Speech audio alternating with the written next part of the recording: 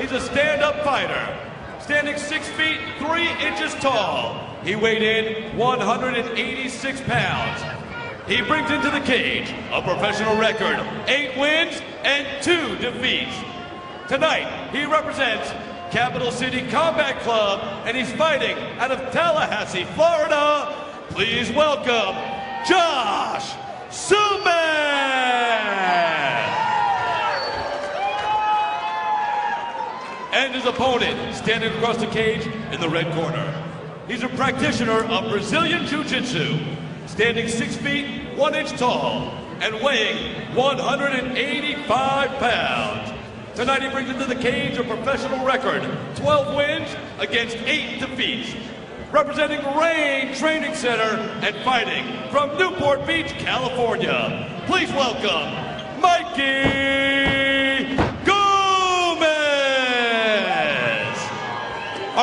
in charge, Nate Jolly. All right, you guys both know the rules. I expect you to obey them at all times. Protect yourself at all times. Have any questions from red? Any questions from blue? If you're going to touch them, touch them up now. Samman bouncing up and down on the balls of his feet, ready to go here. He comes in as the underdog, plus 185. Mikey Gomez minus 235. Thanks to Nick Kalikas, betonfighting.com. Great crowd here at the Knoxville Civic Coliseum. Third man in the cage, the great Nate Jolly. Michael Schiavello, Pat Miletich. Here we go. Armenian Orthodox. Inside the leg kick to open up for Gomez. Quick to cover though. Samman goes with the hands. Gomez rushing him back against the cage with a double leg here. Samman looking for a submission here. I think I'd be more concerned about the takedown and dealing with that first before the submission because if he ends up on his back against Gomez, he might find some serious problems. Gomez can sustain a lot of punishment. Human sponge. North-south position here. Turns the knuckles in, then goes to the head. Gomez locking onto a single, now switches back to a double. Competitive opening round here. Right away looking for that half guard sweep, climbing in there. Elevate, elevate. Hammer fist strike from Samman. We will see that Samman smashing double hammer fist? North-south again, one foot on the cage here. Goes to the left side of the body of Mikey Gomez. Gomez edging him back, right in front of our commentary position now. Getting in deep on that single leg. He's got to turn the corner though. Samman trying to punch out the tattoo. Working that right hand nicely. Maybe not doing a lot of damage, but maintaining his activity. Scoring. Constantly glancing towards his corner pat and receiving instruction. Yeah, and it's very annoying when you're stuck underneath somebody trying to get a takedown and they keep peppering you with shots. It is a little bit uh, annoying to say the least. Shots again here from Samman. Tries to pick him up and dump him over the back. Does Mikey Gomez. That was an awkward position. Gomez needs to, when you come up like that with the double with your head between, you got to cut one arm between their legs and spin on that single. Then you come out behind your opponent. He did not do that though. There's the arm between the legs. And now tracking away again to the left side of the body. Arm between the legs once more here for Samman. Right. Elevate. Elevate.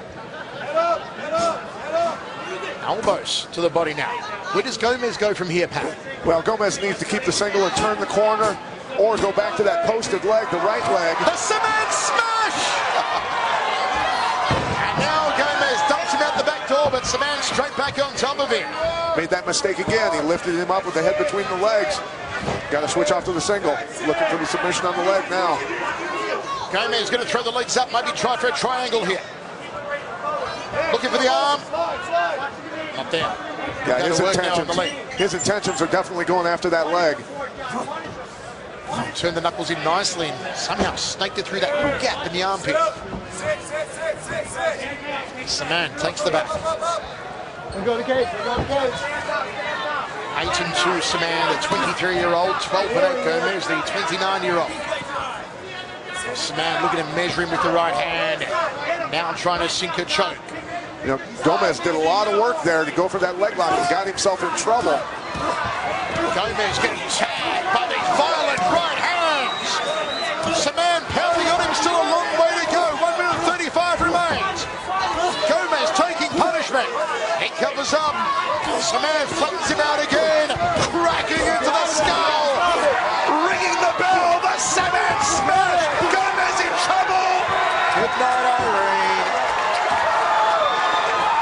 Josh and ended up taking the back of the BJJ black belt and finishing with stripes.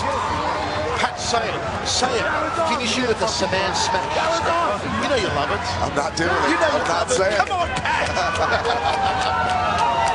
Samman smash. Hey, 5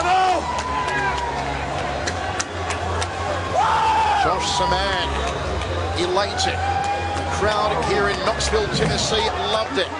Sure Gray Maynard, who I know is watching live, he's from Tennessee. I know he's enjoying it. It's a man doing a good job there, starting out fast, throwing a lot of, a lot of punches in that combo. Here he is going for that choke. Gomez again, he's in on the leg. Say it, Pat, say it. Gomez is in on the legs. Here he is.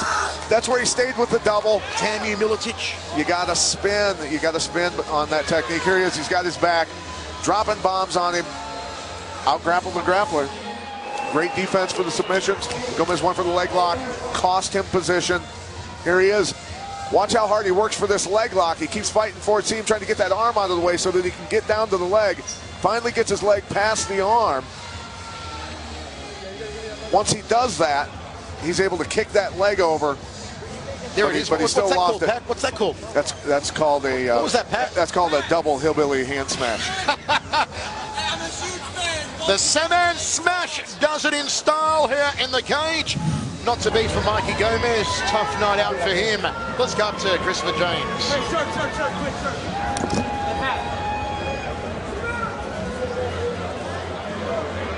Hurry, hurry.